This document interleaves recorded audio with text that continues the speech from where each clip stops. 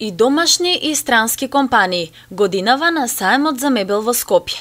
Меѓу нив со атрактивен штанд е представена и компанијата Звезда Комарц од Неготино, со основна дејност – трговија со водоводни материјали. Веќе 24 години оваа компанија успешно ја испишува својата приказна.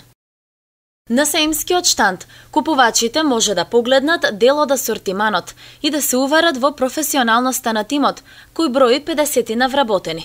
Со посветеност и внимание во својата работа, оваа компанија во континуитет им нуди на сите своји потрошувачи функционални производи со цени прилагодени на сечи джеб – Звезда Комерц е генерален застапник за Република Македонија за повеќе од 20 европски произведувачи.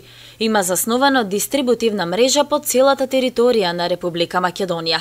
Во 2008 година пак, во рамките на оваа компанија, стартуваше новата погонска единица за производство на мебел за бањи под брендот Lotus Design – Истакнувајќи се со врвен квалитет, како и со изборот на различни бои и големини, мебелот за бањи Lotus Design многу брго го освои македонскиот пазар.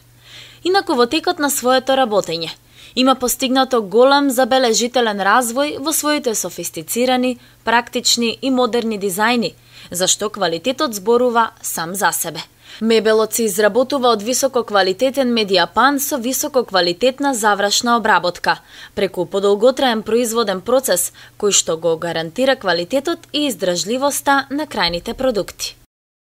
Мебелот има петгодишна гаранција против каков и да било производен дефект. Производителната програма е достапна во повеќе димензии и бои, во согласност со потребите и вкусовите на нарачателот.